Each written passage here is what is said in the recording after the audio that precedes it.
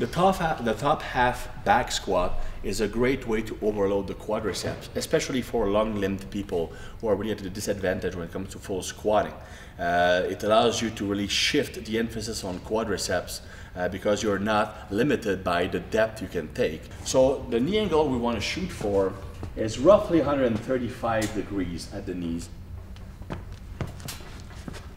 That's good position. I use a slightly wider step. Well, actually, even though Steph is tall, normally my recommendation for tall people is to use a wider squat stance.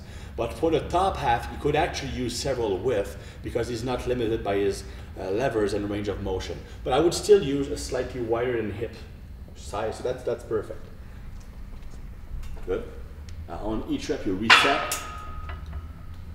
Good. Reset. So the first thing you do when you reset is you contract your upper back, contract your lower back, then push. That's it. Remember when I, also when squatting, it's a whole body movement. So when you get out of the hole, squeeze the upper back and push into the bar with your hands.